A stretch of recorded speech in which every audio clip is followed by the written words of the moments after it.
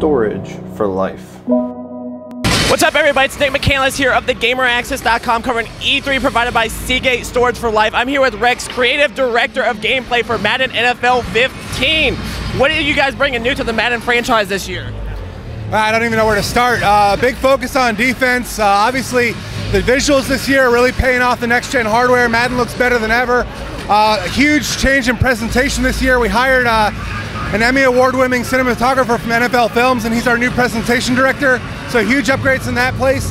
Uh, there's literally so much that's changed this year. It's hard to even touch on everything, but uh, significant overhaul across the game. It's a it's a true next gen game this year.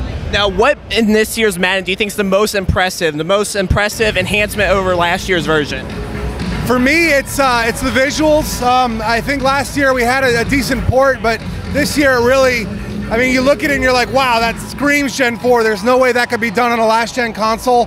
Um, and just like, you know, generally the flow of the game is better. Players feel more alive. We've ironed out a lot of little uh, like dips in the experience, and uh, it's just a better game overall this year. As far as game modes, is there anything new that we can expect as far as enhancements to the franchise mode or online? Yeah, literally every mode has had updates. Um, MUT has been significantly upgraded. The big thing in the franchise mode this year is game prep. Um, in other words, you've completely changed the way practice works, where now you're kind of working individually with individual players and upgrading their stats by running them through drills versus like going into actual game situations.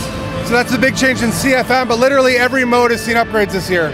That's awesome. Now, as far as the online, what have you guys done specifically with online with this year's iteration? Well, the main thing for online for us is matchmaking, making sure that people don't jump in and get beat like 175 to 6. Um, so we've done a much better job of checking your profile, seeing what your record was last year if you have a save, and generally doing a better job of matching you up with an opponent that is the same skill level as you are.